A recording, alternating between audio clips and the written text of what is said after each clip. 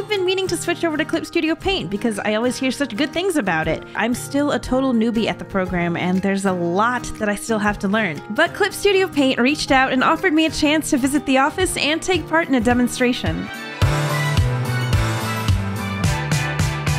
Could you recommend to me, I guess, the most beginner friendly tool? He said that there were a variety of preset brushes I could use to decorate the background, but that I could also search for my own brush presets online by opening Clip Studio Assets.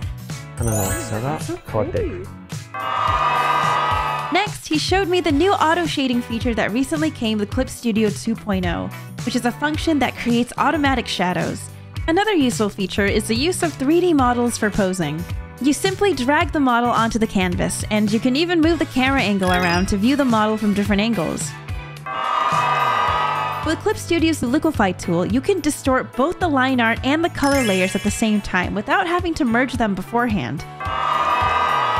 The last thing I asked Naoki-san about was how to use tools for manga drawings, since that was one of the main things that Clip Studio specialized in, and the thing that really drew me to the program to begin with. Now that I had some new tips and tricks under my belt, I decided to try utilizing them at home. Clip Studio is a super extensive software with a huge library of resources and drawing materials, so I definitely recommend trying it out if you're looking for versatility and some useful time savers. Clip Studio Paint is also available on multiple devices, which will come really handy for me. Like I said, still a huge newbie at this program, but I'm excited to expand my knowledge on all the different artistic tools I have at my disposal.